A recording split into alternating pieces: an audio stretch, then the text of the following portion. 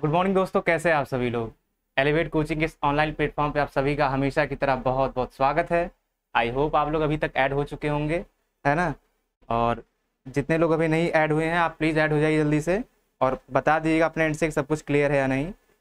एक बार रिस्पॉन्ड करिएगा कि वहाँ से आपके एंड से ऑडियो वीडियो बिल्कुल क्लियर समझ में आ रहा है, सब कुछ सुनने में आ रहा है कि नहीं? उसके बाद शुरू करते हैं। रिस्पॉन्ड करिएगा वहाँ से सभी लोग। और सेशन को स्टार्टिंग में शेयर कर दीजिएगा जैसे कि फिर बीच में कोई डेविएट ना होना पड़े किसी को, है ना?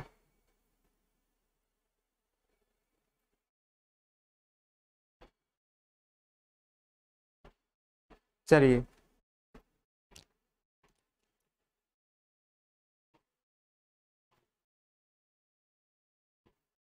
एक बार अपने इनसे सब लोग शेयर कर दीजिएगा। और आज हमारी ये थर्टी फिफ्थ नंबर की क्लास है है ना? फ्रॉम द बिगनिंग हम लोग देखिए धीरे धीरे करते करते कहाँ पहुँच गए? थर्टी फिफ्थ नंबर क्लास पे पहुँच गए हैं। और मैं यहाँ पर आपको कुछ बताना चाह रहा हूँ कि जैसा आप लोग कहेंगे जैसा आपका रिस्पॉन्स हुआ तरीके से फिर हम लोग क्या करेंगे ना शाम को जैसे पाँच से छः के बीच में मान लीजिए कि thirty five to thirty five to forty minutes का एक सेशन रख दिया करेंगे जिसमें uh, बहुत लोगों को इसमें दिक्कत है ग्रामर की पोर्शन में दिक्कत है है ना? कुछ लोग स्पेलिंग तक गलत लिख देते हैं। ठीक है? उस पर हम नहीं जाएँगे। बट आपको, क्योंकि स्पेल एरर से भी क्वेश्चन आता है ना, देखिए चार ऑप्शन रहते हैं, उसमें से जो सही, उसका स्पेलिंग रहती है, उसमें आपको एक तरीके से एलिमिनेट करने के लिए आता है कि आप उसको चूज़ करें, है ना? तो मैं ये कह रहा हूँ ना कि पाँच से छः के बीच में जो है रख लिया करेंगे। अगर आप लोग कहेंगे, बस एक टारगेटेड एक तरीके से बैच रहेगा, जिनमें टू द पॉइंट चीज़ें रहेंगी ग्रामर से रिलेटेड है ना? आप जितने भी लोग हमारे बिगनर होंगे, उनको ये बात नहीं पता होगी, लेकिन जो एक तरीके से जो सीज़न कैंडिडेट्स हैं, उनको ये बात पता होगी कि ग्रामर का पोर्शन एक तरीके से बहुत ही फाइनाइट तरीके से है, उसको तो हम लोग खत्म कर ही लेंगे ठीक है? तो आप लोग जैसा कहेंगे, उसमें से हम लोग ऐसा रखेंगे ना कि तीस मिनट का रखेंगे, पूरा थियोरेटिकल पोर्शन रखेंगे, और उसी से रिलेटेड क्वेश्चन भी कर लिया करेंगे वहीं पे। और मॉर्निंग में जैसे हमारी क्लास चल रही है, ऐसे चलती रहेगी, और इसमें आने वाले टाइम पे हम लोग प्रैक्टिस सेशन करने वाले हैं। प्रैक्टिस सेशन मतलब आप समझ रहे हैं? प्रैक्टिस तो ये भी हम लोग करा ही रहे हैं एक तरीके से। रूट वर्ड का हो रहा है, एक तरीके से ईडियम्स लेके आते हैं। लेकिन वो प्रीवियस ईयर क्वेश्चन जो आए हुए हैं एज इट इज़ जैसे सेट्स में आते हैं, ठीक है? मतलब सी पी ओ का ले लिया सी जी एल का ले लिया, या C H S L M T S का ले लिया, है ना? तो उसको सेशन वन कर, यानी कि प्रैक्टिस सेट वन करके टू करके ऐसे मतलब पच्चीस पच्चीस क्वेश्चन जो प्री के हैं, उनको हम लोग यहाँ पर डिस्कशन करना स्टार्ट करने वाले हैं। आफ्टर वन वीक आप मान के चलिए कि इसको हम लोग शुरू कर देंगे यहाँ पर अपने मॉर्निंग वाली क्लासेस में। और शाम को अगर आप कहेंगे तो हम लोग वो करते रहेंगे ग्रामर का पोर्शन होता रहेगा वहाँ पे, ठीक है? तो जैसा आप लोग एक तरीके से रिस्पॉन्स रहेगा हरिमोहन गुड मॉर्निंग हरिमोहन। बहुत ही पंक्चुअल स्टूडेंट है हमारे, ठीक है? तो मैं यहाँ पर क्या कह रहा था ना कि वो कैब हमारा ये जो है, आज थर्टी फिफ्थ नंबर का एक तरीके से हमारी क्लास यहाँ पर होने जा रही है। आई होप आप लोग पेन पेपर लेके बैठ गए होंगे, चीज़ों को प्रॉपर अच्छे से जॉट डाउन करिएगा, और बहुत ही इंपॉर्टेंट सा सेशन होने वाला है। इंपॉर्टेंट इन द सेंस कि आज एक रूट वर्ड हम लोग और सीखेंगे, और उसी रूट वर्ड से ना उस रूट वर्ड को जब आप सीखेंगे, तब उसी रूट वर्ड से जितने भी सारे वर्ड्स बने हुए हैं या जितने सारे वर्ड्स एग्ज़ाम में आपके आते हैं, उस रूट वर्ड को आप पकड़ लेंगे तो आपको कई बार होता है आपको कि उसका आंसर नहीं भी पता रहता ना, फिर भी ऑप्शन से आप कर लेंगे उसे। यही तरीका होता है, यही स्मार्ट स्टडी कहलाती है पढ़ने की। आप ब्रह्मा नहीं हो सकते हैं, आपको सारी चीज़ें कभी नहीं पता हो सकती हैं लाइफ में। सारी चीज़ें कैसे पता हो जाएँगी आपको? लेकिन वहाँ पर आपको स्मार्ट वर्क करना है। जितने भी टॉपर्स भी होते हैं ना यहाँ तक कि यूपीएससी के भी जितने टॉपर्स होते हैं, उनके सब कुछ थोड़ी ना पता रहता है उनको। लेकिन वो जानते हैं कि पेपर को अटेम्प्ट कैसे करना है। पेपर को अटेम्प्ट करने का तरीका बहुत कम लोगों को पता होता है, ठीक है? तो वही मैं कह रहा हूँ कि मान लीजिए कि आपको उसका, उस वर्ड का मतलब नहीं पता रहेगा, लेकिन आपको अगर रूट वर्ड पता रहेगा ना तो आप वहाँ पर एलिमिनेट कर पाएँगे। तबस्सुम खान जुड़ गई हमारे साथ। गुड मॉर्निंग बहुत बहुत स्वागत है आपका, हमेशा की तरह, है ना? कल शायद आप नहीं आए थे। हो सकता है कोई काम आ गया वैसा कुछ, है ना? लेकिन ट्राई ये किया करिए कि नौ बजे क्लास इसको अटेंड कर लिया करिए। बहुत ही छोटा सा सेशन हमारा होता है और मैं ट्राई ये करता हूँ कि आपके कोई डाउट ना रह जाए वहाँ पे। देखिए, इसलिए मैं बार बार बहुत ही फ्रैंकली होकर पढ़ाने लगता हूँ कई बार तो ठीक है? कि आपको कोई संदेह ना रहे, कोई संशय भी ना रहे कि पता नहीं सर से पूछूँ या ना पूछूँ, ठीक है?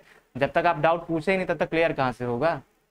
तो आई होप चीज़ों को समझ रहे हैं। ये जितने भी लोग हमारे साथ जुड़े हैं, है ना? तबस्सुम, हरिमोहन, आप लोग अपने से एक बार शेयर कर दीजिएगा सेशन को। जहाँ भी आपका जो भी सोशल मीडिया जो प्लेटफॉर्म आप यूज़ करते हैं, फिर शुरू करते हैं। तो देखिएगा। चलिए।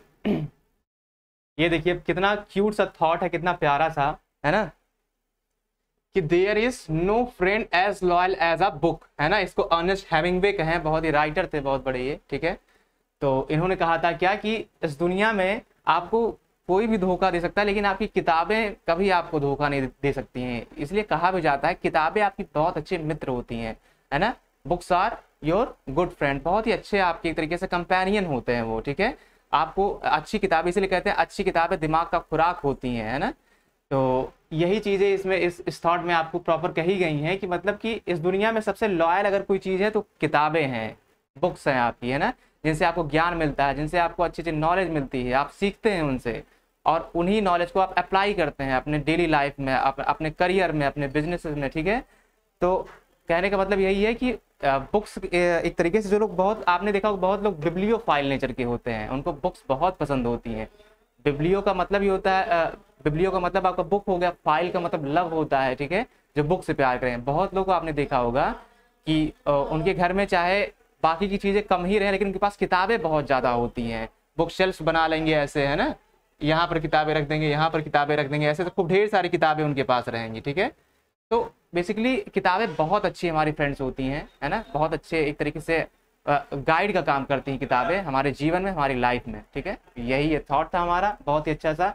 ये बेसिकली इसीलिए मैं लेके आया हूँ कि ताकि आपको अपने किताबों से तरीके से आपका इंक्लिनेशन उसकी तरफ़ बने, है ना? क्योंकि जब तक आप किताबें पढ़ेंगे नहीं, चीज़ों को समझेंगे नहीं, तब तक तो है ना? ठीक है, तबस्सुम, कोई दिक्कत नहीं है है ना? आप लोग क्लास अटेंड किया करिए, आप ही लोगों के लिए है क्लास ये तो है ना?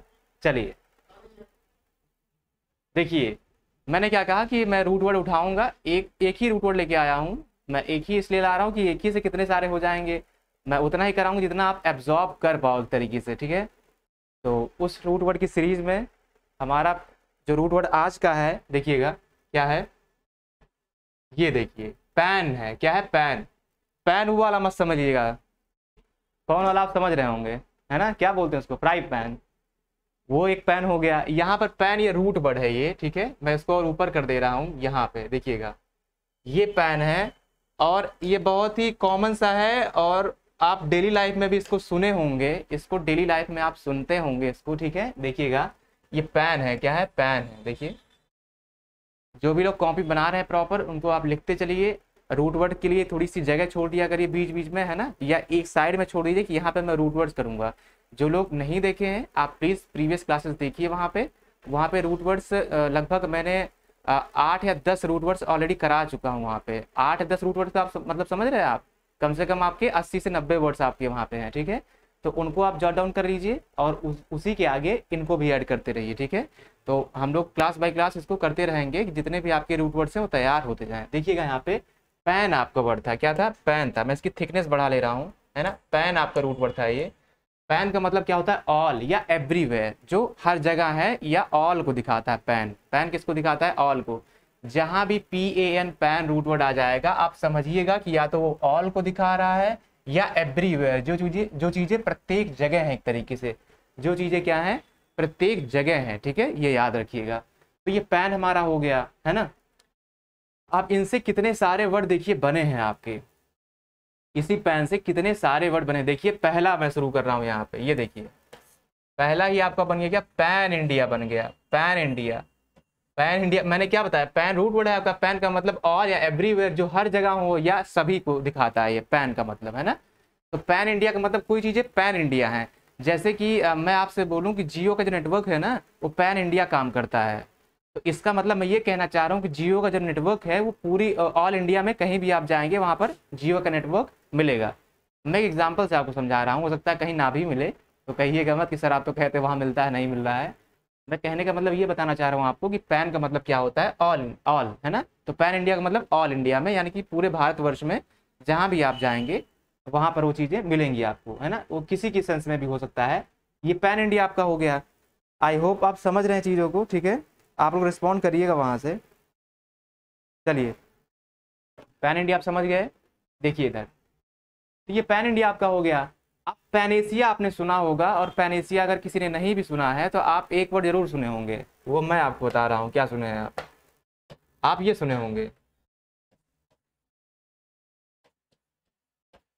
ये आपने सुना होगा। कहते हैं ना, रामबाण।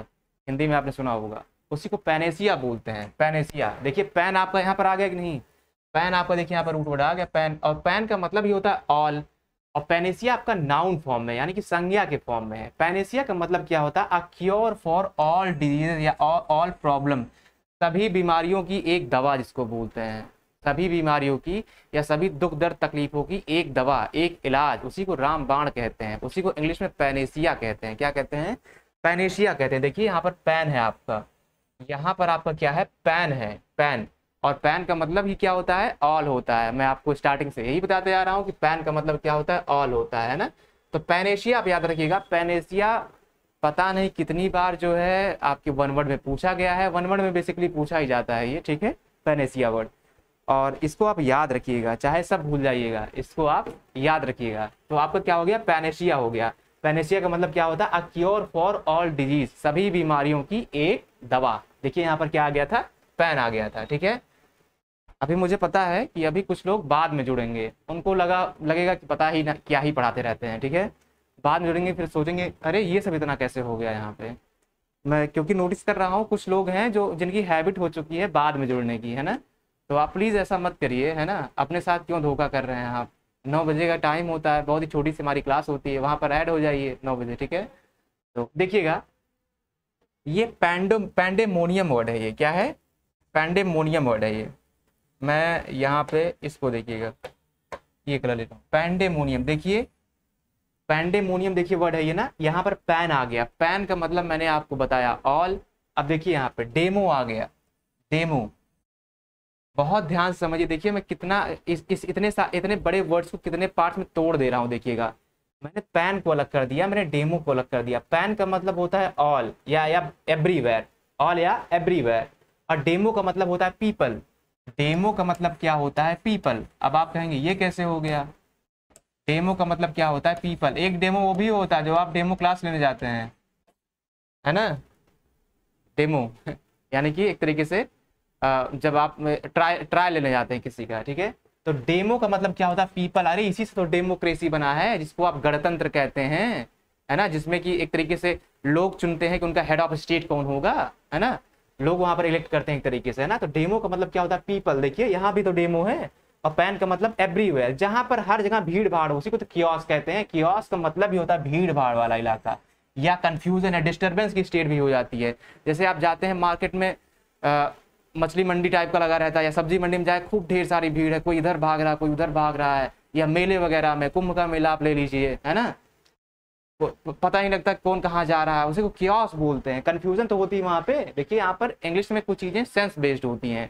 तो जहाँ पर क्योस है वहाँ कंफ्यूजन तो होगा ही होगा ना कि पता नहीं इधर से रास्ता जाएगा या इधर से रास्ता जाएगा जब इतनी सारी भीड़ है जहाँ पर लाखों लोग हैं एक तरीके से करोड़ों लोग जा, जा रहे हैं जहाँ पे ठीक है?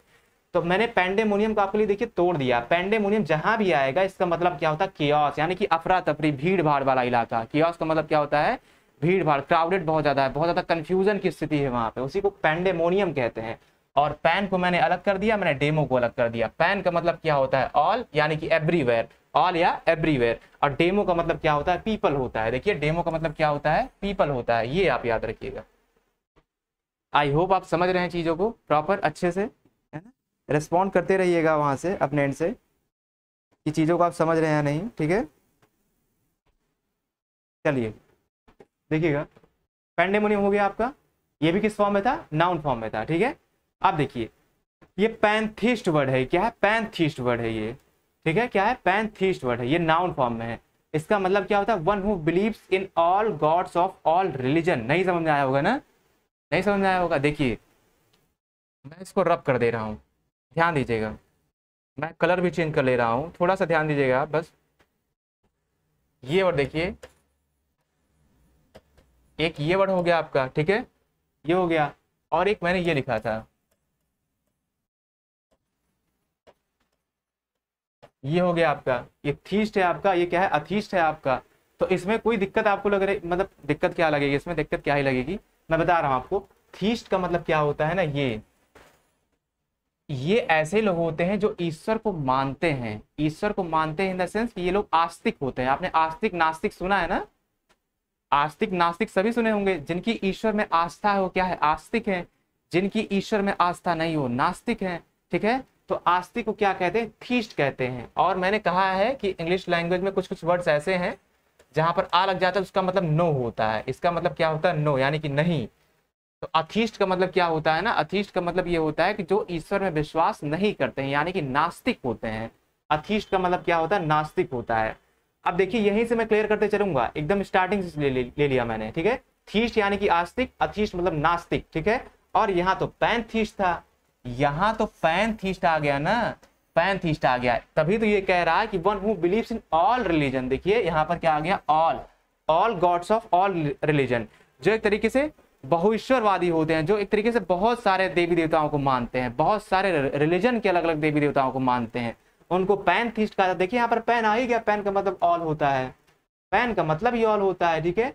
पैन का मतलब क्या होता है? ऑल होता है। देखिए, पैन थीस्ट आ गया, और थीस्ट का मतलब मैंने आपको बताया ही है। किसी को हिंदी में लिखना होता है आप आस्तिक लिख लीजिए यहाँ पे। आप क्या लिख लेंगे यहाँ पे? आप आस्तिक लिख लेंगे, और ये नास्तिक हो जाएगा। ये क्या हो जाएगा आपका? ये नास्तिक हो जाएगा। ये आप लिख लो। है ना? ये आप लिख लीजिए। और ये पैंथिस्ट हो गया। पैंथिस्ट ये नाउन फॉर्म में है। यानी कि one who believes in all gods of all religion जितने भी दुनिया में धर्म है उनके जितने संबंधित उनके ईश्वर देवी या देवता हैं उन सबको ऐसे लोग जो होते हैं ना पैंथिस्ट लोग ऐसे लोग मानते हैं। ऐसे लोग सभी धर्म के सभी देव, देवी देवताओं क्या करते हैं? मानते हैं। उनको पैंथीस्ट कहा जाता है। आई होप मैंने इसको भी तोड़ दिया है। अब आपको ये समझ में आया होगा अच्छे से। है ना? रिस्पॉन्ड करिएगा वहाँ से। चलिए, बिल्कुल, तबस्सुम सब ये लोग पढ़ रहे हैं अच्छे से, कोई बात नहीं, बहुत अच्छा लग रहा है हमको ये, देख के, ठीक है? आई होप अब तो समझ में आया होगा, आगे बढ़ते हैं, देखिएगा। ये देखिए अच्छा पैंडेमिक तो ये वर्ड शायद ही ऐसा कोई हो जो ना सुना हो। कोरोना वायरस ऐसी, ऐसा दुख दे गया है हम लोगों को पैंडेमिक तो है ना? क्या ही कहे, नाम लेना भी उचित नहीं है, पता नहीं फिर ना आ जाए, है ना? क्या ही पता।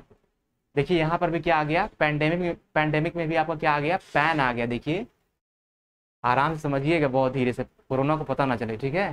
देखिए, यहाँ पर पैन आ गया। क्या आ गया? पैन आ गया। पैन का मतलब ही क्या होता है? ऑल होता है है ना? पैन का मतलब क्या होता है? ऑल होता है। देखिए पैंडेमिक का मतलब महामारी आप समझते हैं, है ना? महामारी फैल जाना। तो महामारी ऐसा तो होगा नहीं कि मेरे मोहल्ले में फैले और सामने वाले के मोहल्ले में फैले ही ना। महामारी शब्द ही वहाँ से बनेगा जब बहुत लार्ज स्केल पे, बहुत ही लार्ज एरिया में पॉपुलेशन को कवर करे, उनको अफेक्ट करे एक तरीके से। उनको क्या करे? अफेक्ट करे, ये याद रखिएगा। बहुत ही लार्ज स्केल पे जब लोग उससे प्रभावित हों, लोगों की डेथ हो उन सब चीज़ों से, है ना? उसी को पैंडेमिक कहते हैं, उसी को महामारी कहते हैं, क्योंकि इस पैंडेमिक में देखिए यहाँ पर पैन वर्ड है। क्या है? पैन वर्ड है है ना? और पैन का मतलब ही होता है ऑल या एवरीवेयर देखिए, कोरोना वायरस जो था लगभग लगभग सारे पार्ट्स में था। पूरी लगभग सारी कंट्रीज़ में था है ना? तो पैंडेमिक ही तो कहा जाएगा। तो इसीलिए कहते हैं देखिए यहाँ पर इसका मतलब क्या लिखा? है disease spread all over the country और वर्ल्ड एक ऐसी बीमारी जो लगभग लगभग सारे देशों में लग, या लगभग लगभग पूरी दुनिया में फैल चुकी है उसी को पैंडेमिक कहते हैं। उसी को क्या कहते हैं? पैंडेमिक कहते हैं। मैंने वर्ड को तोड़ भी दिया देखिए यहाँ पर पैन है। और पैन का मतलब ये होता है ऑल जो सारी जगह पर फैल चुका हो उसी को हिंदी में महामारी कहते हैं। आई होप चीज़ों को आप समझे होंगे ठीक है? आगे बढ़े। समझ पा रहे हैं ना आप चीज़ों को? बहुत अच्छी बात है। चलिएगा आगे देखिएगा, है ना? देखिए, ये पैनोरामा वर्ड है ये। अच्छा फ़ोन जितने लोग स्मार्टफ़ोन तो सभी यूज़ करते हैं, ऐसा तो कोई होगा ना जो ना यूज़ करे, है ना? पैनोरामा जब आप कैमरा देखिए, वो फ़ोटो क्लिक करवाते हैं या करते हैं, उसमें पैनोरामा वाला ऑप्शन आता है, जो एक तरीके से लार्ज एरिया को कवर करता है। है ना? जब आप आप अपनी सेटिंग में देखिएगा जा करके वहाँ पर एक पैनोरामा का ऑप्शन आता है है ना? आपके कैमरे में दिया रहता है वो। जब आप वहाँ पे जब क्लिक करते हैं वहाँ पे तो एक लार्ज लैंडस्केप को कवर करता है। अब आप कहीं गए, मसूरी वगैरह में, शिमला वगैरह में आप चाह रहे हैं कि पूरा एक तरीके से लार्ज एरिया कवर हो, है ना? खासकर डीएसएलआर वगैरह में भी बहुत अच्छे अच्छे डीएसएलआर तो बहुत ही महँगा आता है ना? तो उसमें तो और अच्छे अच्छे फीचर्स होते हैं। तो पैनोरमा का मतलब होता है जो लार्ज एरिया को कवर करे। देखिए, यहाँ पर भी पैन आ गया कि नहीं आपका? मैं यही तो आपको समझा रहा हूँ। देखिए पैन पैनोरमा में। पैन आ गया ना? पैन पैनोरमा भी नाउन फॉर्म है। A view of an area in all direction जो पूरी डायरेक्शन से उसको कवर करे, है ना? उसी को पैनोरामिक व्यू कहते हैं, है ना? जो तरीके से चारों तरफ़ से किसी एरिया को कवर करे, कई सारी डायरेक्शन से, ठीक है? उसको क्या हो गया आपका? पैनोरमा हो गया। देखिए पैनोरमा हो गया। ये नाउन फॉर्म है। A view of an area in all direction ठीक है? उसको क्या कहते हैं? पैनोरमा कहते हैं। आई होप पैनोरमा आपको क्लियर हुआ होगा। जिनको डाउट है आप लोग उसमें फ़ोन में अपने कैमरे में देखिएगा। पेनोरमा एक ऑप्शन आता है कैमरा जब आप वहाँ पर ऑन करते हैं जिससे कि एक लार्जर एरिया को कवर किया जाए उसका व्यू लिया जा सके। उस कैमरे को जब फ़ोटो आप क्लिक करते हैं तो वहाँ पे। और पेनोरमा हमें मैंने क्या बताया कि पैन यहाँ पर क्या है आपका? रूट वर्ड है। पैन का मतलब ही होता है ऑल या एवरीवेयर है ना? पीछे आ, हम देखिए वही वही रूट वर्ड हम कर रहे हैं। पैन का मतलब क्या होता है? ऑल या एवरीवेयर जो एक तरीके से लगभग सारी जगह को एक तरीके से कवर करता हुआ चले। ठीक है? आगे बढ़े। देखिए, ये पैंथियन वर्ड है ये। क्या है पैंथियन है? अब पैंथियन का मतलब क्या है? देखिए, यहाँ पर भी पैन आ गया है। है ना? पैन और थियो से रिलेटेड है, थोड़ा सा गॉड से रिलेटेड है। किससे? गॉड से रिलेटेड है ये। ठीक है? थियो तो पैंथियन का मतलब क्या होता है? A temple dedicated to all gods है ना? आपने देखा होगा, कई सारे ऐसे मंदिर होते हैं जिनमें लगभग सारे रिलीजन के सारे देवी देवताओं की तरीके से उनकी मूर्तियाँ वहाँ पर, उनकी स्टैचू या उनके एक तरीके से जो भी सेनेटॉफ वगैरह, जो कुछ भी होते हैं, उनके स्थापित रहते हैं वहाँ पे, है ना? तो उस जगह को क्या कहते हैं बेसिकली पैंथियन कहते हैं। क्या कहते हैं? पैंथियन कहते हैं। ये एक ऐसा मंदिर होता है जहाँ पर लगभग सारे देवी देवताओं का एक तरीके से उनका चित्र बना रहता है या उनकी फ़ोटोज़ लगी रहती हैं स्टैचू बनी रहती हैं उनकी, ठीक है? ये याद रखिएगा आप। उसी को पैंथियन कहते हैं। यहाँ पर भी आपका पैन आ गया है। यहाँ पर भी आपका क्या आ गया है? पैन आ गया है। ये भी किस फॉर्म है? नाउन फॉर्म है। उसी को पैंथियन कहते हैं a temple dedicated to all gods देखिए ऑल गॉड सभी देवी देवताओं को जो जो मंदिर जो समर्पित होता है, उसी को क्या कहते हैं? पैंथियन कहते हैं। आई होप आप समझ रहे होंगे चीज़ों को, है ना? अंकुर हमेशा की तरह लेट आते हुए, ठीक है?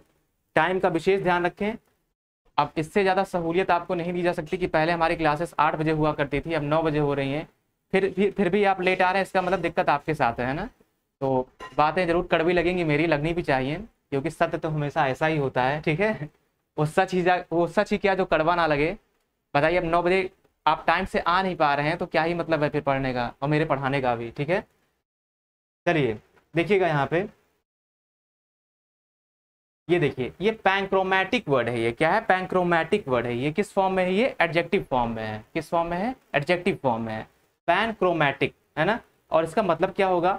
A photographic film that is sensitive to all colours नहीं समझ में आया होगा ना? देखिए, ये पैन जो देखिए, यहाँ पर पैन का मतलब ऑल हो गया और क्रोमा का मतलब जहाँ भी आ जाएगा ना, एक कलर को दिखाएगा। किसको दिखाएगा? कलर को दिखाएगा। कुछ ऐसी हमारी फोटोग्राफिक फ़िल्म होती है, यानी कि जब जो हम फ़िल्म समझते हैं ना, जो लोग फोटोग्राफी में यूज़ करते हैं, जो रील्स वगैरह होती हैं, है ना? जो कैमरा में एक तरीके से रील्स जो होती हैं तो photographic film that is sensitive to all colours है ना?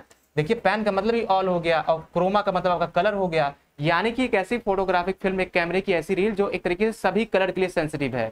यानी कि सभी कलर के लिए क्या करती है? एक तरीके से उनको उनको रिफ्लेक्ट करती है। आप ऐसे याद रखिए। ये बेसिकली पैंक्रोमैटिक वर्ड है ये। बहुत ही लेस कॉमन है। आपके एग्ज़ाम में तो बहुत कम कम ही आता है, लेकिन चूँकि पैन रूट वर्ड से था, इसलिए मैंने यहाँ पे उसको लिखवा दिया, है ना? पैन क्रोमैटिक है। आप तोड़ के याद रखेंगे तो आपको याद रहेंगी चीज़ें। देखिए पैन का मतलब ही ऑल हो गया और क्रोमा जहाँ भी आ जाएगा ये कलर को दिखाएगा रंग यानी कि क्रोमा है ना? उसी को पैन क्रोमेटिक कहते हैं। ये किस फॉर्म में हो गया? आपका एडजेक्टिव फॉर्म में हो गया। उसी को बोलते हैं आप photographic film that is sensitive to all colours है ना? जो लगभग लगभग सभी कलर्स के लिए क्या है? एक तरीके से सेंसिटिव है ठीक है? कोई बात नहीं अंकुर अगर पेपर था तब तो ये एक्सक्यूज जायज़ है बिल्कुल है ना? आईबीपीएस का पेपर है तो ऑल द बेस्ट है ना? आ, आप अच्छे से पेपर दीजिए, है ना? I wish you all the best आप अच्छे से करिए, बहुत अच्छे से, बहुत ज़्यादा पैनिक मत करिएगा, है ना? चलिए, देखिए इधर। तो पैंक्रोमेटिक आई होप आपको समझ में आ गया होगा, है ना? पैंक्रोमेटिक आपका वर्ड हो गया। अब देखिए, मैं थोड़ा सा इसको ऊपर कर दे रहा हूँ। यहाँ देखिएगा। पैंक्रोमेटिक हमारा वर्ड था ये। आगे आपको जो मैं बताना चाह रहा हूँ, ये है, मैं ये कलर ले ले रहा हूँ, देखिएगा। पैंक्रोमेटिक आपका ये हो गया। मैंने यहाँ पर डिस्कस कर दिया आपके लिए। देखिए पेंडोरा बॉक्स लिखा है। क्या है ये? पेंडोरा बॉक्स है ये। पेंडोरा बॉक्स ठीक है? और पेंडोरा बॉक्स ये ईडियम भी होता है। ईडियम के ईडियम के पार्ट्स में भी आता है ये। देखिए, भी यहाँ पर पैन है ना यहाँ पे पैन इसको हिंदी में कहते हैं आफत की पुड़िया, इसको बोलते हैं पेंडोरा बॉक्स को। है ना? क्या बोलते हैं? आफत की पुड़िया बोलते हैं इसी को। A box that was the cause of all evils और प्रॉब्लम्स यानी कि आफत की पुड़िया आप समझ रहे हैं, यानी कि उसको अगर एक तरीके से ऐसा माना जाता था ना कि इस बॉक्स को अगर आपने खोल दिया तो आपके साथ मुसीबतें ही मुसीबतें आती जाएँगी, है ना? कई बार ऐसा होता है कि आपने किसी को छेड़ दिया, कोई काम ऐसा कर दिया कि उसके बाद एंडलेस प्रॉब्लम्स आपके सामने आती ही जा रही हैं, आती ही जा रही हैं, ठीक है? उसी को कहते हैं पेंडोरा बॉक्स बोलते हैं उसी को। क्या बोलते हैं? पेंडोरा बॉक्स बोलते हैं। देखिए, यहाँ पर भी पैन है। इसका मतलब सारी समस्याओं की जड़ यही है, कौन है? पेंडोरा बॉक्स है। ये नाउन फॉर्म में है। देखिए a box that was the cause of all evils और प्रॉब्लम्स है ना? उसी को पेंडोरा बॉक्स बोलते हैं। इसी को हिंदी में आफत की पुड़िया कह देते हैं, है ना? याद रखिएगा। आगे बढ़े। यहाँ पर भी आपका क्या आ गया था? पैन आ गया था। क्या आ गया था? पैन आ गया था। तो आई होप आप लोग चीज़ों को प्रॉपर समझ रहे हैं, ठीक है? देखिएगा। अब यहाँ पर थोड़ा हम ईडियम्स एंड फ्रेजेस को डिस्कस कर लेते हैं, है ना? क्योंकि प्रैक्टिस के बिना तो सब बेकार है। जब तक आप प्रैक्टिस नहीं करेंगे ना चीज़ों की जब तक आपके पास ये नहीं रहेगा ना, ये। ये, तब तक कोई मतलब नहीं है। तब तक चीज़ों का एक तरीके से कोई सेंस नहीं बन पाएगा। मैं यहाँ पढ़ाता रहूँगा, चिल्लाता रहूँगा।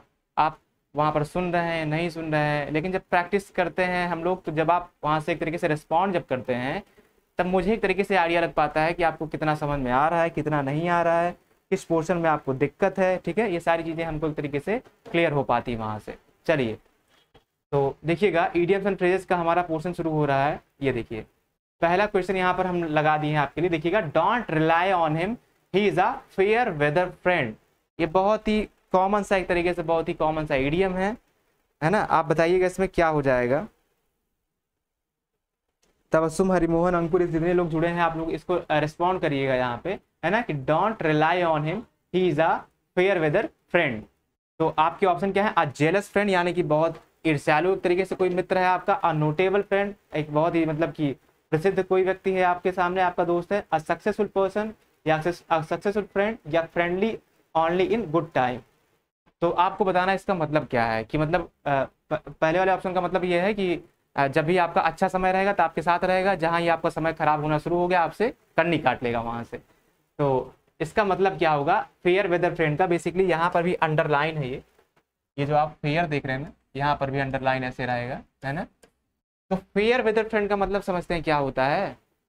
इसका मतलब कुछ लोग ऐसे होते हैं ना, जब आपका समय अच्छा होता है, जब आपका टाइम अच्छा होता है तो आपके साथ रहेंगे एंजॉय करेंगे चेरिस करेंगे, कहेंगे, अरे, सर पार्टी दीजिए, अब चलिए, यहाँ पे ये करते हैं, वो करते हैं, है ना? और खूब पैसा वैसा सब खर्च करवाएँगे, सब कुछ करेंगे वहाँ पे। लेकिन जब आपका समय एक तरीके से जब खराब आना शुरू हो जाएगा, या किसी का भी, है ना? तो आपसे क्या करेंगे किनारा कर लेंगे वहाँ से। यानी कि आपको एक तरीके से असहाय अवस्था में छोड़ के चले जाएँगे वहाँ पे ठीक है? तो ऐसे ही लोगों को फेयर वेदर फ्रेंड कहा जाता है। क्या कहा जाता है? फेयर वेदर फ्रेंड कहा जाता है। फेयर का मतलब ये होता है अच्छा एक तरीके से है ना? बहुत ही अच्छे के सेंस में जाता है। फेयर का सेंस बुरा भी जाता है है ना? आप रफ कॉपी फेयर कॉपी देखिए बनाते थे वहाँ पे। तो ये सब भी उस, उसका भी सेंस जाता है यहाँ पे है ना? तो फेयर वेदर फ्रेंड का मतलब क्या होता है कि जब भी आपका समय अच्छा है तब आपके साथ हैं वो आपके मित्र या आपके जो भी जानने वाले हैं। जहाँ आपका समय खराब होना शुरू हुआ वहाँ आपसे क्या कर लेंगे वो? किनारा कर लेंगे। बहुत लोग जो हमसे जुड़े हैं वो जानते भी होंगे जो आ, अंकुर तबस्सुम ये ये वर्ड ऐसे लोगों को आपने देखा होगा है ना? या किसी न किसी से सुना होगा कि ऐसे भी लोग होते हैं ठीक है? तो हमारा आंसर क्या हो जाएगा? Friendly only in good time अच्छे समय में ही खाली वो साथ देते हैं। आपका समय बुरु बुरा शुरू हो गया एक तरीके से तो क्या करेंगे आपसे? किनारा कर लेंगे वहाँ पे ठीक है? चलिए आगे बढ़ते हैं। ये देखिए। The leader had the lion share of the ransom ransom का मतलब मैंने आपको बताया था। रैंसम का मतलब क्या होता है? वैसे किसी को याद नहीं होगा, है ना? रैंसम का मतलब किसी को याद नहीं होगा वैसे याद है किसी को गलती से। अच्छा ये बता रही है, तबस्सुम बिल्कुल सही है आपका, है ना? बहुत ही अच्छी बात है कि आप लोग अटेंड कर रहे हैं चीज़ों को। मैंने रैंसम बताया था, आप लोग बताइए रिस्पॉन्ड करिए। तबस्सुम वगैरह जो भी लोग जुड़े हैं रैंसम का मतलब आपको पता है? रैंसम का मतलब फिरौती होता है। कहते नहीं कि मूवी वगैरह में आप देखते हैं कि किडनैप कर लिया उनको, मंत्री जी के बेटे को कह रहा है कि डेढ़ करोड़ पहुँचा दो, नहीं तो मार दूँगा उसे। यानी कि फिरौती, उसी को रैंसम कहते हैं, है ना? क्या बोलते हैं? फिरौती बोलते हैं। मैंने इसको कई बार चिल्ला चिल्ला के बताया है, लेकिन कोई बात नहीं। मैं फिर से बताता रहूँगा इसको, है ना? फिरौती। लॉयन शेयर का मतलब क्या होता है ना? अब जैसे कि मान लीजिए ऐसे बना दे रहा हूँ मैं। ये, ठीक है? कितने पार्ट्स हो गए? देखिए, छह पार्ट हो गए। मान लीजिए पिज्जा है ठीक है? मान लीजिए क्या है ये? पिज्जा है ये। समझ लीजिएगा, नहीं कहेंगे, सर, ये कौन सा पिज्जा बना दिए? ठीक है? कॉर्न वाला है। ठीक है? पिज्जा है ये। अब लॉयन शेयर का मतलब क्या होता है ना? दी लार्जर पार्ट भाई शेर अगर शिकार करेगा तो सबसे बड़ा वाला हिस्सा ही लेगा ना? आप ऐसे याद रखो। लॉयन शेयर है ना? यानी कि शेर जब शिकार करेगा सबसे बड़ा वाला हिस्सा ही लेगा वो। लॉयन शेयर का मतलब लार्जर पार्ट हो गया। यानी कि पिज्जा है इसकी इतन, इतना इतना सारा कुछ आप ही ले लिए। इतना सारा कुछ आप ही ले लिए ये एक टुकड़ा किसी को दे दिया तो दे दिया है ना? यानी कि लार्जर पार्ट आप रख रहे हो तरीके से। लार्जर पार्ट क्या कर रहे हो? आप रख रहे हो है ना? ये। तो उसी को बोलते हैं लॉयन शेयर यानी कि लार्जर पार्ट ये बहुत ही सिंपल सा है है ना? याद रखिएगा इसको आता है एग्ज़ाम में। एक नंबर देके ही जाएगा क्या दिक्कत है? लंप इन दी थ्रोट है ना? लंप इन दी थ्रोट का मतलब क्या होता है? रिस्पॉन्ड करिएगा वहाँ से, है ना? लंप इन दी थ्रोट का मतलब क्या होता है? एक बार रिस्पॉन्ड करिएगा। आपके ऑप्शन है विंड पाइप है आपका food of the low type है अ हाईली इमोशनल स्टेट है, या नन ऑफ़ दी एबव है। लंप इन दी थ्रोट ये ईडियम्स चल रहे हैं हमारे यहाँ पे, मुहावरे चल रहे हैं। आपको इसका मतलब बताना है। आपको इसका क्या बताना है? मतलब बताना है लंप इन दी थ्रोट का मतलब है ना? विंड पाइप समझते हैं ना? विंड पाइप होती है। क्या बोलते हैं? श्वास नली बोलते हैं उसी को, है ना? जिससे कि हम सांस लेते हैं, अंदर ऐसे जाती है। इनहेल एक्सेल करते हैं। बाबा रामदेव का योगा करते हैं, ठीक है? याद रखिएगा। फ़ूड आदि लो टाइप है ना? कुछ ऐसे खाने होते हैं, हमारे जो खाद्य पदार्थ होते हैं, बहुत ही लो टाइप के होते हैं। मतलब बी ऑप्शन में मैंने दे रखा है कि लंप इन थ्रोट का मतलब आपको बताना है है ना? या अ हाईली इमोशनल स्टेट होता है। तो हमारा ये सी ऑप्शन क्या हो जाएगा यहाँ पे? राइट हो जाएगा, है ना? लंप इन दी थ्रोट का मतलब क्या होता है? अ हाईली इमोशनल स्टेट बहुत ही भावुक जो पल होते हैं, या बहुत ही ज़्यादा जब आप बहुत ज़्यादा इमोशनल हो जाते हैं, बहुत ज़्यादा पॉइगनेंट बहुत ज़्यादा टची जब हो जाते हैं आप, है ना? तो उसी को बोलते हैं लंप इन दी थ्रोट ये ईडियम है, ये मुहावरा है, इसका मतलब होता है जब आप बहुत ज़्यादा इमोशनल हो जाते हैं। जब आप बहुत ज़्यादा क्या हो जाते हैं? इमोशनल हो जाते हैं, इसको आप याद रखिएगा। ये आता है एग्ज़ाम में। ये क्या है? एग्ज़ाम में आता है, इसी को इमोशनल बोलते हैं, ठीक है? जो भी लोग प्रीवियस ईयर पेपर सॉल्व करते होंगे, उनको ये मिलता होगा ज़रूर से ज़रूर, है ना? इसको आप याद रखिएगा, ठीक है? चलिए, आगे देखिएगा। ये देखिए to keep the pot boiling है ना? यानी कि पॉट है पॉट कैसे बनाएँगे? पॉट ऐसे बनाएँगे, मान लीजिए, है ना? ये पॉट है, यहाँ पर नीचे जो है, आग जल रही है है ना? आग जल रही है, आग है ये, इसको आग ही समझिएगा, ठीक है? आग जल रही है यहाँ पे फ्लेम निकल रहा है, ठीक है? To keep the pot boiling का मतलब क्या होता है? आपके ऑप्शन यहाँ पे है to be in low spirit या टू हीट द पॉट या टू मेंटेन इंटरेस्ट यानी कि बहुत ही लो फील करना या पॉट को गर्म करना to keep the pot boiling का मतलब होगा या टू मेंटेन इंटरेस्ट है ना? कई बार क्या होता है ना कि आप लिटरल मीनिंग ढूँढने लग जाते हैं। इडियम्स में क्या होगा? लिटरल मीनिंग वहाँ पर नहीं काम करती। जैसे आपको लग सकता है कि to keep the pot boiling का मतलब होता है, बर्तन को आप गर्म कर रहे हो यहाँ पे, है ना? उसको गर्म कर रहे हो। लेकिन आपको फिर लगेगा टू हीट द पॉट यानी कि पॉट को क्या करना है? गर्म करना है। लेकिन इसका दूर दूर तक कोई उससे मतलब नहीं है तो आपको खाली कंफ्यूज करने के लिए दिया है ये। ये वाला ऑप्शन तो आपको कंफ्यूज करने के लिए दिया है कि आप इसको टिक कर दें। तो की द पॉट बॉइलिंग का मतलब क्या होता है ना? अपने इंटरेस्ट को मेनटेन रखना। यानी कि जैसे मैं बताऊँ कि आ, कुछ चीज़ें ऐसी होती हैं कुछ काम ऐसे होते हैं जिनमें आप स्टार्टिंग में बहुत ज़्यादा इंटरेस्ट से उसको करते हैं। फिर समय के साथ आपका उसमें इंटरेस्ट खत्म होने लगता है वहाँ पे। आपका इंटरेस्ट लूज होने लगता है वहाँ पे, ठीक है? तो उससे आप याद रखिएगा कि टू मेंटेन द इंटरेस्ट होता है। देखिए to keep the pot boiling यानी कि पानी खोल रहा है। बर्तन जो है, आग पे चढ़ा हुआ है, यानी कि पॉट बॉयल कर रहा है एक तरीके से। यानी कि टू मेंटेन इंटरेस्ट यानी कि अपने आपका जो इंटरेस्ट है, आपकी जो रुचि है, उसको आप मेंटेन करके रख रहे हैं। इसीलिए बोलते हैं उसको to keep the pot boiling आपका मुहावरा है, इसका मतलब होता है अपने इंटरेस्ट को एक तरीके से बना के रखना मेंटेन करके रखना, ठीक है? तो आई होप आपको ये समझ में आया होगा। तो हमारा सी ऑप्शन क्या हो जाएगा यहाँ पर? बिल्कुल राइट हो जाएगा।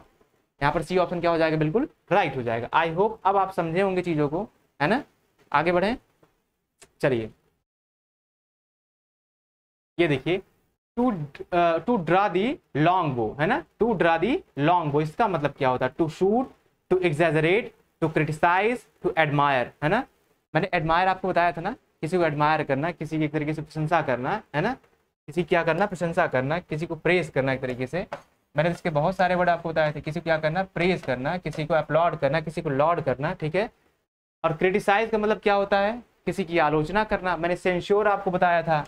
मैंने इसका क्या बताया था? आपको सेंश्योर बताया था। सारे आलोचना के वर्ड्स हैं जो मैं अब लिख रहा हूँ यहाँ पे। सेंश्योर बताया था। मैंने आपको टायरेड बताया था। मैंने आपको क्या बताया था? टायरेड बताया था, है ना? और भी बहुत सारे वर्ड्स मैंने इसके लिखवाए थे क्रिटिसाइज के, है ना? किसी को सेंश्योर करना, किसी को क्रिटिसाइज करना, किसी को टायरेड करना, है ना? ये सारे किसके वर्ड हो गए? निंदा के हो गए। एग्जैजरेट का मतलब क्या होता है? एग्जैजरेट का मतलब क्या होता है? बहुत बढ़ा चढ़ा के चीज़ों को बताना। और टू शूट का मतलब क्या होगा? किसी को शूट कर देना, है ना? शूट का सेकंड थर्ड फॉर्म क्या हो जाएगा? शॉर्ट हो जाएगा। तो शूट तो वो हो गया, किसी को शॉर्ट कर देना, गोली मार देना एक तरीके से। एग्जैजरेट यही हमारा ऑप्शन सही हो जाएगा। इसका मतलब क्या होता है ना? चीज़ों को बढ़ा चढ़ा के बताना। यानी कि आप सौ रुपए किसी की मदद की और लोगों से बता रहे हैं, मैंने उसको लाखों रुपए दान दे दिए।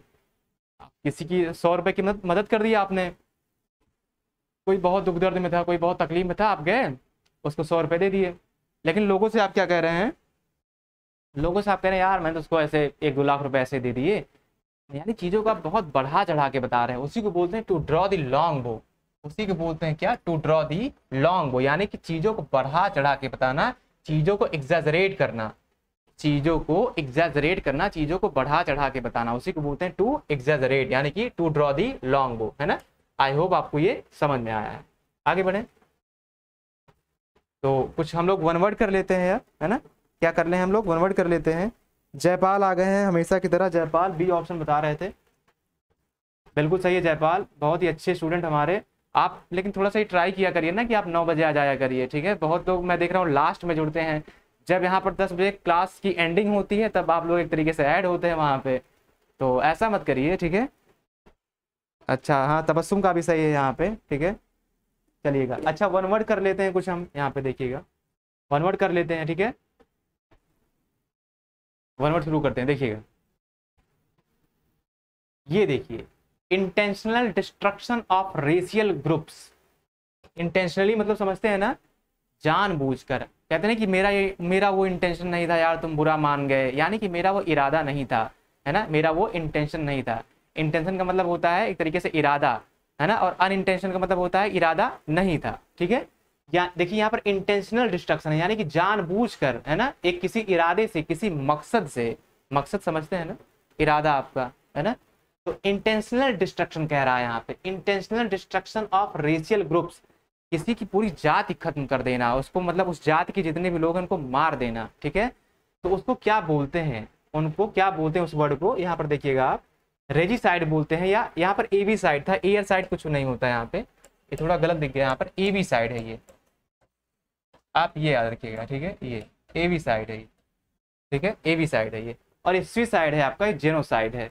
ए बी साइड मैंने आपको बताया था। मैंने आपको ये भी बताया था। जो लोग नहीं जानते आप इसको लिख लीजिएगा।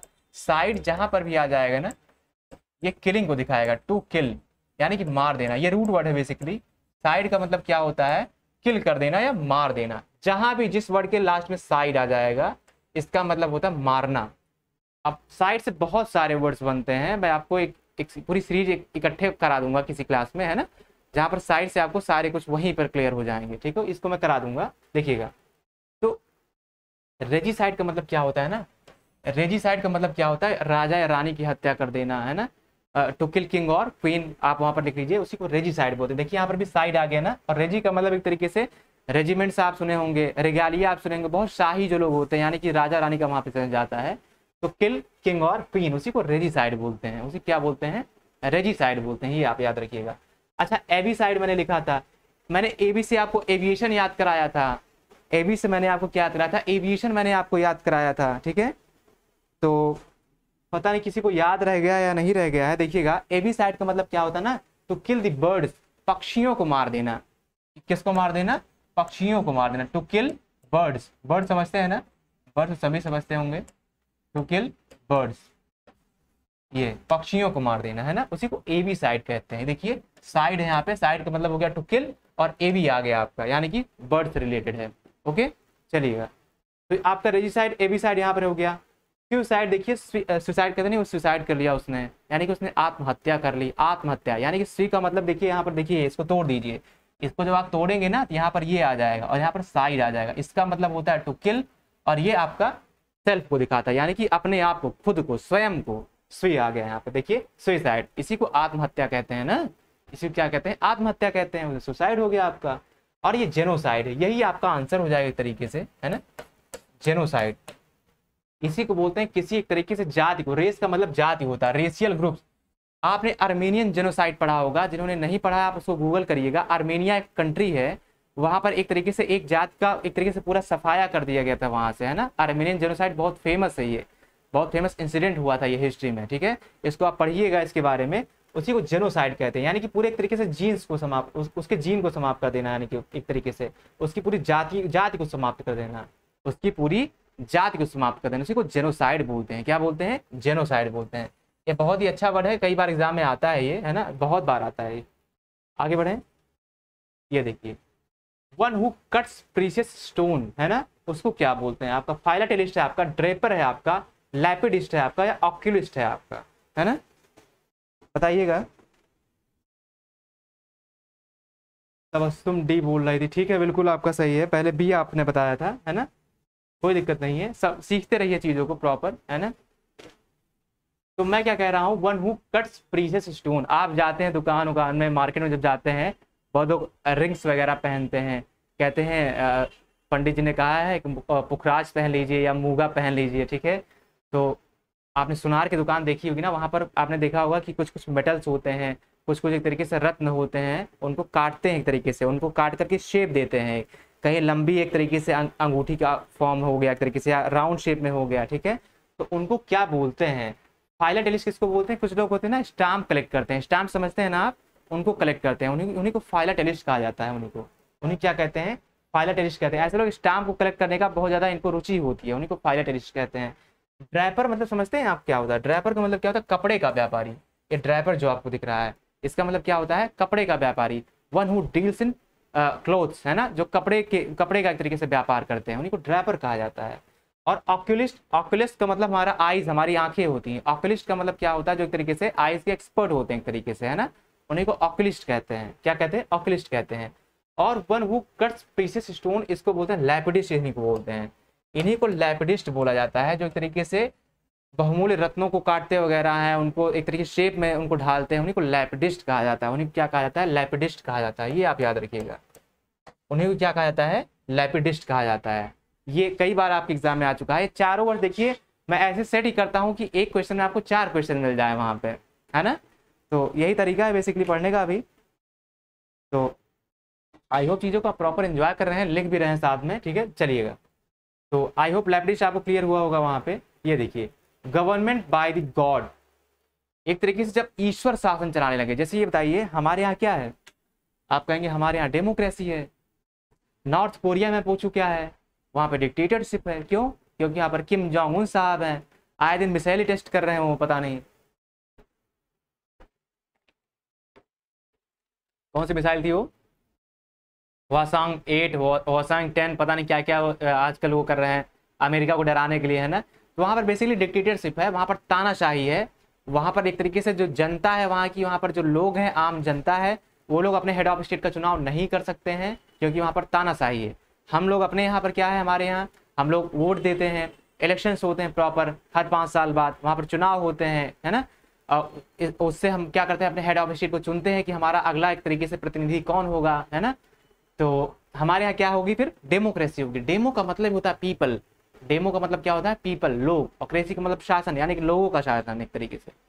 देखिए तो यहाँ पर क्या पूछ रहा आपसे? यहाँ पर पूछा गवर्नमेंट बाय द गॉड्स यानी कि जब ईश्वर शासन चलाने लगे, जब भगवान शासन चलाने लगे, उनको क्या कहेंगे? ठीक है? देखिएगा।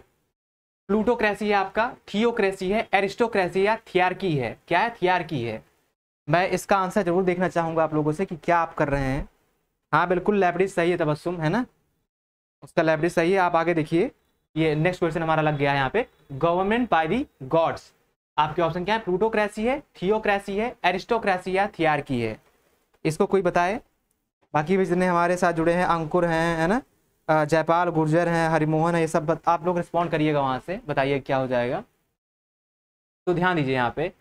एरिस्टोक्रेसी मैंने आपको बताया था कि समाज की जो उच्च वर्ग है, एक तरीके से बहुत ज़्यादा वेल्दी हैं, बहुत ज़्यादा नाम है उनका बहुत ही इन्फ्लुएंशियल है एक तरीके से, जब वो शासन करने लगे, यानी कि कुलीन वर्ग एक तरीके से जब शासन करने लगे, उसी क्या कहते हैं? एरिस्टोक्रेसी कहते हैं। क्या कहते हैं? एरिस्टोक्रेसी कहते हैं, ठीक है? ये याद रखिएगा। आई होप आपको एरिस्टोक्रेसी याद रहेगी। जब एक तरीके से समाज के जो, एक तरीके से बहुत ही वेल्दी लोग, जैसे आप इंडिया का एग्ज़ाम्पल लो, जैसे कि मान लो कि जैसे हमारे जो अंबानी साहब हैं, अडानी साहब हैं, ये सब हो गए, है ना? सत्यमंगलम बिड़ला ये सब हो गए सॉरी कुमार मंगलम बिड़ला हो गए, सत्यमंगलम टाइगर रिज़र्व है। ठीक है, कुमार मंगलम बिड़ला हो गए। ये सारे लोग जब एक तरीके से शासन करने लगे तो उनको क्या कहेंगे आप वहाँ पे? वहाँ पर यानी कि धनाढ़ है ना, इनके पास बहुत ज़्यादा बहुत ज़्यादा रिच हैं लोग, बहुत ज़्यादा रिची रिच हैं, बहुत ज़्यादा वेल्दी हैं वहाँ पे। तो जब वो लोग शासन करने लगेंगे, एक तरीके से इन्फ्लुएंशियल भी हैं। इन्फ्लुएंशियल तो है ही। उनका कहा हुआ कई बार ऐसे सुनने में आता सरकारें भी मानती हैं। तो ऐसे लोग जब शासन करने लगे ना तो उनको एरिस्टोक्रेसी कहा जाएगा। उनको क्या कहा जाएगा? एरिस्टोक्रेसी कहा जाएगा। और देखिए प्लूटोक्रेसी प्लूटो का मतलब क्या होता है? प्लूटो हमारा एक प्लानट भी हुआ करता था अब उसको काउंट नहीं करते हैं है ना? अब तो नेपच्यून तक ही है। तो प्लूटोक्रेसी का मतलब क्या होता है? जब एक तरीके से बहुत ही ज़्यादा एक तरीके से आ, ये बेसिकली धनाढ़ के लिए बना ही है। एरिस्टोक्रेसी मैंने आपको क्या बताया कि हो सकता है वो धन से भी हो और हो सकता है बहुत ज़्यादा इन्फ्लुएंशियल भी हो लेकिन प्लूटोक्रेसी है ना ये धन को सम, आ, वो करता है रिनोट करता है। यानी कि ऐसे लोग क्या होते हैं? बहुत ही धनाढ़ जब शासन करें। क्या? बहुत ही धनाढ़ वर्ग शासन करें। आप डिफरेंस समझ पा रहे हैं ना प्लूटोक्रेसी और एरिस्टोक्रेसी में? ऐसे लोग के पास पावर भी हो सकती है। लेकिन प्लूटोक्रेसी क्या होते हैं? ऐसे लोग ऐसे लोग संपत्ति बहुत होती है इनके पास। अब जब वो ऐसे लोग शासन करेंगे तो उन्हीं को प्लूटोक्रेसी कहते हैं, ठीक है? आई होप आपको समझ आया होगा। अच्छा थियोक्रेसी क्या होता है ना? ये, मैं यहाँ पर पेन ले ले रहा हूँ, देखिएगा। ये जो आपको थियोक्रेसी जो आपको दिख रहा है, ये, इसका मतलब क्या होता है? जब एक तरीके से पुजारी, एक तरीके से जो आपके प्रीस्ट जो आपका पुरोहित है, एक तरीके से जो पॉप है, एक तरीके से क्रिश्चियनिटी में जब वो लोग शासन करने लगे जैसे आप वेटिकन सिटी जाओ, वहाँ पर पोप फ्रांसिस हुआ करते थे, ठीक है?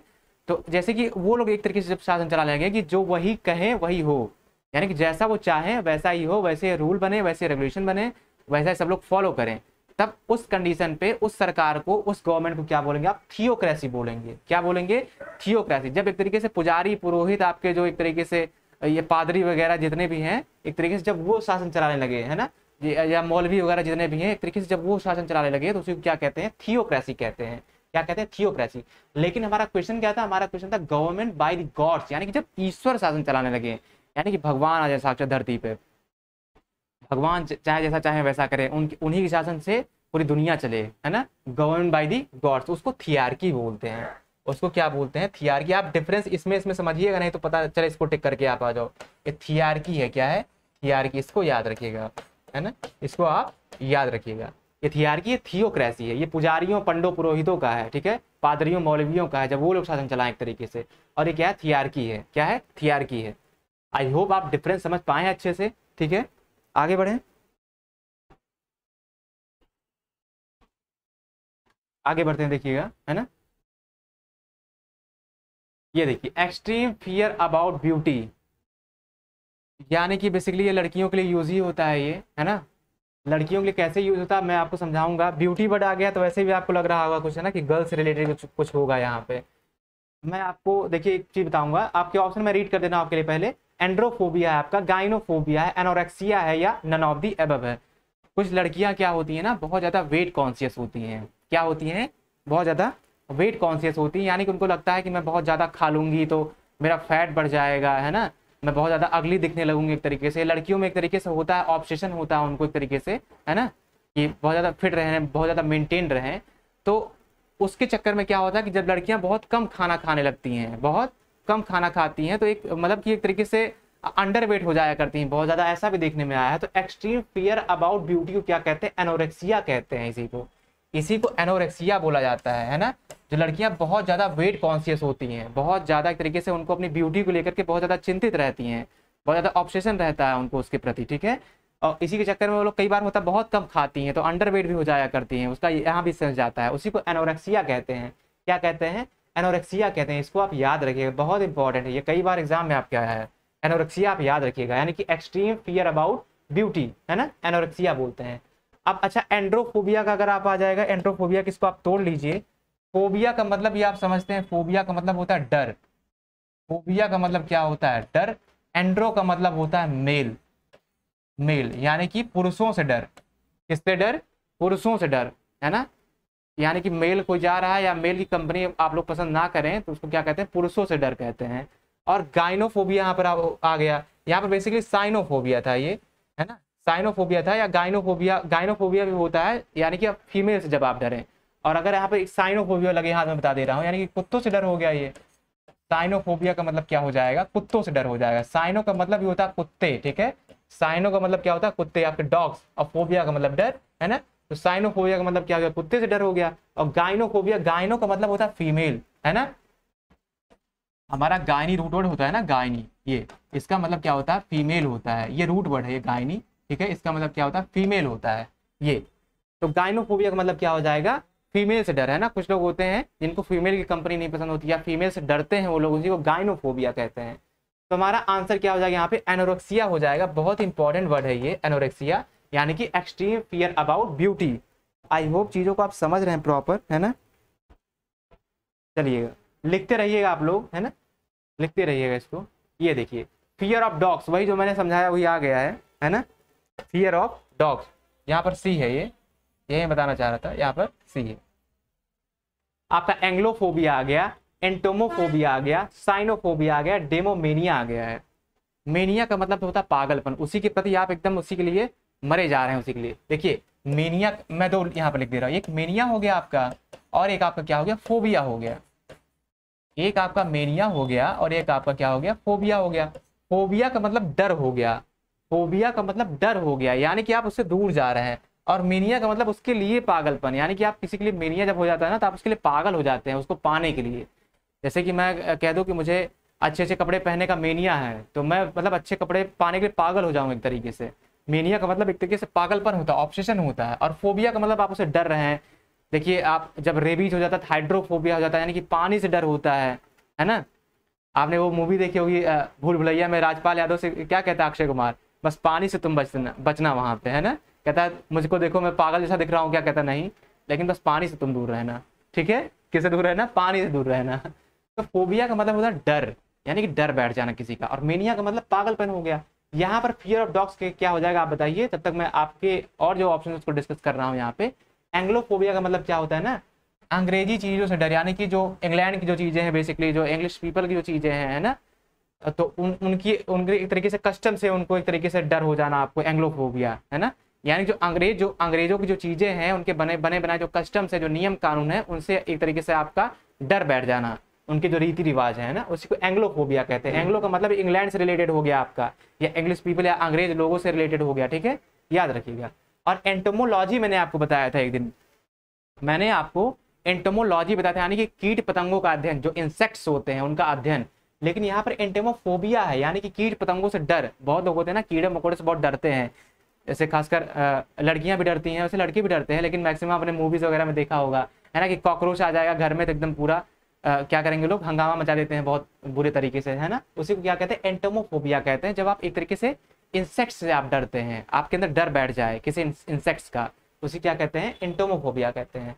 और डेमोमेनिया का मतलब समझते हैं कुछ लोग होते हैं ना इनको भीड़ भाड़ वाली, देखिए, डेमो का मतलब क्या हो गया? पीपल।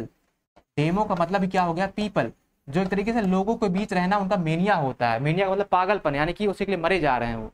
तो डेमो मेनिया का मतलब कुछ लोग होते हैं जिनको भीड़ भाड़ वाली जगह बहुत पसंद होती हैं। उनको भीड़ भाड़ वाली जगह बेहद पसंद होती है। उनको डेमोमेनिया होता है एक तरीके से। और साइनोफोबिया का मतलब साइनो का मतलब डॉग होता है ये। और फियर ऑफ़ डॉग का मतलब क्या हो जाएगा? साइनोफोबिया हो जाएगा यहाँ पे। तो आपका सी ऑप्शन क्या हो जाएगा? बिल्कुल राइट हो जाएगा। आई होप आप समझे होंगे। चीज़ों को मैं बहुत ही ब्रेक करके तोड़ के एकदम आपको मैंने यहाँ पर समझा दिया है, ठीक है? तो ये थी हमारी बहुत ही अमेजिंग सी क्लास आज की। चीज़ों को आई रियली होप कि आपने समझा होगा, अच्छे से चीज़ों को प्रॉपर लिखा होगा। कुछ लोग हैं जो क्लासेस जब हमारे एक तरीके से एंडिंग का टाइम आता है तब वो ऐड होते हैं तो आपसे रिक्वेस्ट यही है कि आप प्लीज़ नौ बजे आ जाया करिए, है ना? और सेशन को आप लोग शेयर करिए। आई रियली होप कि आप ऐसा कर रहे होंगे। और अगर नहीं कर रहे होंगे तो मेरी रिक्वेस्ट है ये आपसे ये, ठीक है? हाँ बिल्कुल, जयपाल और तबस्सुम, आप लोग का सही है वहाँ पे, ठीक है? मेरी आपसे रिक्वेस्ट है कि आप लोग जहाँ पर भी आपका जो भी सोशल मीडिया जो अकाउंट्स है, आप लोग वहाँ पर अपने दोस्तों को बताएँ, आपके आसपास जो तैयारी करने वाले हैं, उनको बताएँ कि हमारी डेली यहाँ पर नौ बजे क्लास हुआ करती है। आप देखते हैं कि मैं चाहता हूँ कि बहुत ही आराम से, बहुत ही फनी वे में चीज़ें आपको याद हों, कैसे भी करके, गाना गा के या रूट वर्ड से या निमोनिक से, है ना? कैसे भी करके आपको चीज़ें याद हो वहाँ पे। ऐसे ग्रामर के रूल हम लोग जब पढ़ते हैं तो उसमें बहुत ही आराम से मैं आपको समझाता हूँ कि वहाँ पर उस पार्ट में, उस पोर्शन में एरर है तो क्यों है? एरर है ये तो आप बुक्स में ही पढ़ लोगे तो यहाँ आने की क्या ज़रूरत है ना? तो मैं आपको बेसिकली यही बताना चाह रहा हूँ कि बहुत ही आराम से हम लोग पढ़ रहे हैं चीज़ों को, बहुत ही ल्यूसिड वे में यहाँ पे चीज़ों को स्टेप बाय स्टेप हम लोग यहाँ पे कवर करते चल रहे हैं।